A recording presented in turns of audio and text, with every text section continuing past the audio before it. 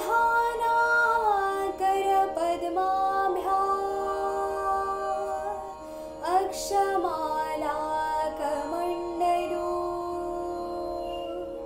दैवी प्रसीदतु मयि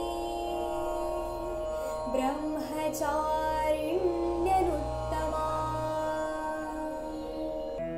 नवशक्तींपैकी ब्रह्मचारिणी हे दुर्गेचे दुसरे रूप आहे. येथे ब्रह्म या शब्दाचा अर्थ तपस्या आहे. ब्रह्मचारिणी म्हणजे तपाचे आचरण करणारी. नवरात्रीच्या दुसऱ्या दिवशी या मातेची पूजा केली जाते. या दिवशी साधकाचे मन स्वाधिष्ठान चक्रात स्थिर होते. या चक्रात मन स्थिर करणाऱ्याला तिची कृपा आणि भक्ती प्राप्त होते. या देवीचे रूप अतिशय देखणे आणि भव्य आहे. तिच्या उजव्या हातात जपमाळा आणि डाव्या हातात कमंडलू असतो. तिने पूर्वजन्मात हिमालयाची कन्या म्हणून जन्म घेतला. त्यावेळी नारद मुनींनी तिला भगवान शंकर पती म्हणून मिळावा यासाठी कठोर तपस्या करायला सांगितली होती. या तपस्येमुळे या देवीला तपश्चारिणी किंवा ब्रह्मचारिणी असे म्हणतात. एक हजार वर्षांपर्यंत तिने फळं खाऊन तपश्चर्या केली. उपवास काळात तिला ऊन आणि पावसाचा भयानक त्रास सहन करावा लागला.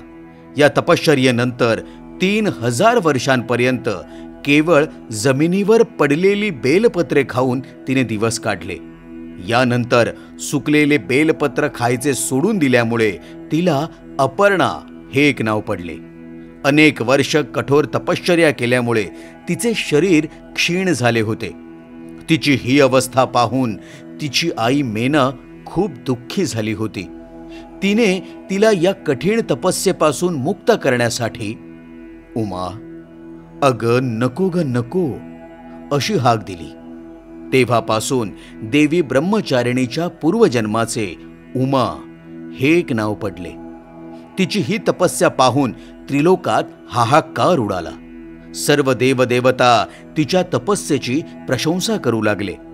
शेवटी ब्रह्मदेवाने तिला आकाशवाणीद्वारे संबोधित करून असे सांगितले की हे देवी आजपर्यंत इतकी कठोर तपश्चर्या कुणीही केली नाही.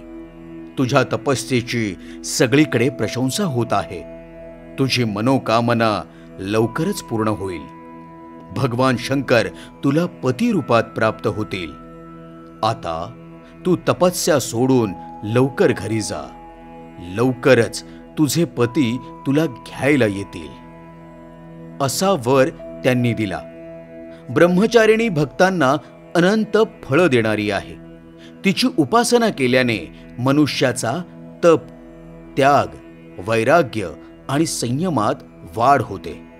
देवीच्या कृपेने मानवाला सर्वत्र विजय आणि सिद्धी प्राप्त होते. अशा प्रकारे हे दुर्गेचे दुसरे रूप आहे. दीर्घायुष्याची कामना करत या देवीला साखर पांढरी मिठाई आणि खडीसाखरेचा नैवेद्य दाखवावा.